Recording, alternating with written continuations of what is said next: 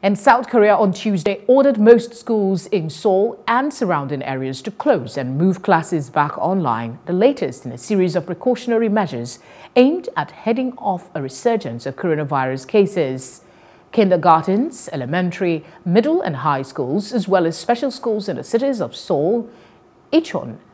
and other province will switch to full remote learning from August 26 until September 11, said the Minister for Education in a media briefing on Tuesday. The Korea Centers for Disease Control and Prevention reported 280 new coronavirus cases as of midnight Monday, bringing the country's total to 17,945 with 310 deaths.